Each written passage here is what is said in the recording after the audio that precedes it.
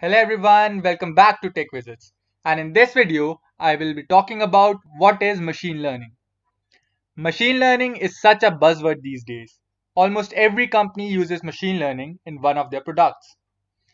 So in this video, we will try to look into the following things. That is the basic introduction regarding machine learning, major differences between artificial intelligence and machine learning, different types of learning strategies that we use in machine learning. And after that, we will be going through some of the applications where machine learning is currently used. So without wasting any time, let's dive into the first topic of the day.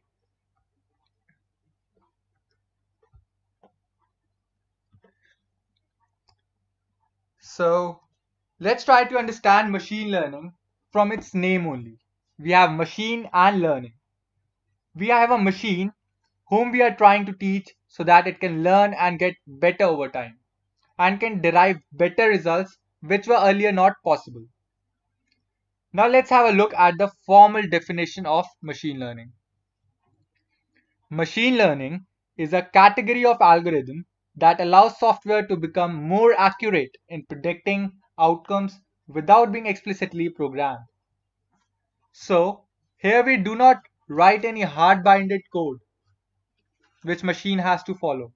Rather, the basic premise is to build algorithms that receive input data and use some statistically analysis to predict an output while updating the output as new data becomes available. So we can imagine this as a child who learns from its experiences, who learns from its experiences on about how he interacts with the environment and he tries to become more and more smarter. So the main question that arises in our mind is how we can actually train the machine. You know, we just can't train a machine. So the answer to this solution is that we can train a machine just like we train humans. So okay, so how do we train humans? A human learn by performing a task again and again so that he can get better at it. This is somewhat true with machines also. Machine tries to learn a particular task by looking at or performing the task again and again so that it can get better at it. So the main thing which helps the machine in learning is data. Let's try to understand what I mean by that by looking at this example. So most of the machine learning algorithms that we will that we use today requires a lot of training data. Algorithms tries to you know reduce the or create a model which have lesser error values. What do I mean by that? Suppose I am trying to create a machine learning algorithm to predict of predict the forecast of weather forecast. So what we do is we first of all train our machine on the previous data. And once the machine is trained on previous data and if we want a machine to predict some new value given some new input it will be able to do that. Since it has learned about it has learned the function about how the weather actually how the weather can be in future so now let's dive into the second topic of the day is the difference between the artificial intelligence and the machine learning. Artificial intelligence is an area of computer science that emphasizes the creation of intelligent machines that work and react like humans. So let's try to look into the core problems which one uh, which scientists are trying to solve in artificial intelligence. So the core problems which we are trying to solve in artificial intelligence is knowledge, reasoning, problem solving, and planning. So these are the major problems. So now let's have a look at the differences between the machine learning and the artificial intelligence. Artificial intelligence stands for artificial intelligence. It's a very, very broad topic, including everything we could interpret as building intelligent behavior in an artificial system. Whereas machine learning is one of the subset of AI which deals with algorithms that can learn from data. We can also think of machine learning as a data mining. So what do I mean by that? What happens is in data mining, we try to understand or get something useful from the data. We are mining through the data. So this is what is we are doing in machine learning also. So these two terms are similar. That is the machine learning and the data mining. Whereas artificial intelligence is a very broad topic where we try to create such algorithms which can mimic human brain activity. So there we are trying to create an intelligent machine. So now let's dive into the third topic that is the different types of learning strategies we have. We have a supervised learning, unsupervised learning and a reinforcement learning. In supervised learning, we have both the input and the output.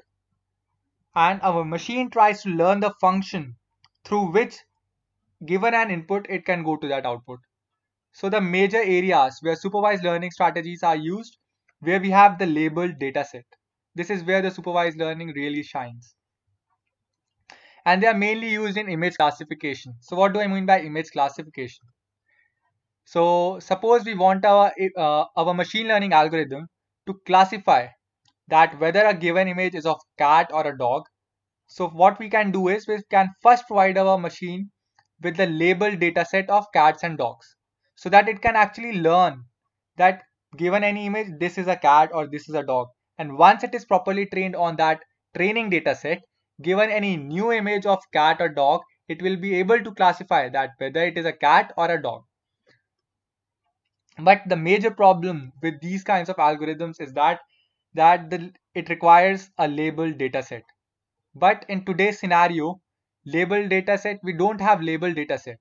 You know, most of the data that is present in the world today is unlabeled. So this is where the un, uh, unsupervised learning strategy comes.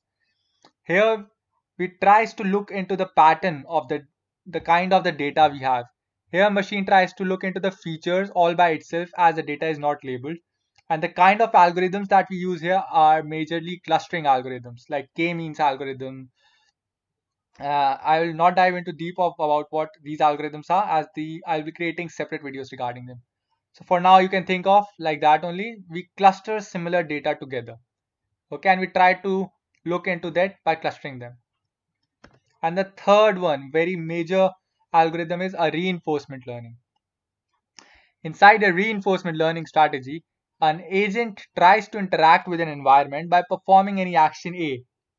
And based on that uh, action, uh, reward has been received by reward is received by the agent from the environment. And the main goal of the agent is to maximize the reward value. And the reward value can be the current value or the future reward value. So what do I mean by future reward value? It may be possible that an action which has been performed by an agent might not be good at the current state, but it might be of a great value in future. So the major goal of the agent is to maximize the reward. So yeah, Google used this algorithm to create AlphaGo, which defeated the world champion of Go, which is considered to be a very tough game. So yeah, reinforcement learning really shines by playing computer games or video games. Like OpenAI have also created a bot which have defeated the Dota player champion. So yeah, it's this kind of strategy is really good in doing that. Now let's dive into the applications where machine learning is being used currently. So yes, first of all, the virtual personal assistants. So like Siri, Alexa, Google are some of the most popular virtual personal assistants. As the name suggests, they assist in finding information when asked over voice. We can even instruct or assist. We can even instruct for an assistance for certain tasks like set an alarm for 6 a.m. or setting a reminder and many more. Now let's see how machine learning has been used in predictions while commuting. As we all have been using GPS navigation services, while we do that, our current location and velocity are saved at a central server. This data is then used to build a map of current traffic. Machine learning in such scenarios helps to estimate the regions where congestion can be found on the basis of daily experiences. And almost every social media services like that we use today like instagram facebook uses the machine learning strategy to optimize the news feed. So what do i mean by that uh, it tries to find what the user is looks what user looks at most often and then it tries to collect or tries to showcase those feed only at top and it is highly used in email spam and uh, malware filtering like gmail spam This is how Gmail actually filters out the spam messages. And then we have search engine result optimization, and it's been really used in self-driving cars also. So yeah, this was just an introductory video regarding machine learning. I will be providing with links from where you can study more about machine learning. And if you guys want me to cover some specific machine learning algorithms, comment down. I will try to cover them up. And don't forget to subscribe if you like my channel. That's it for today guys. Thank you very much.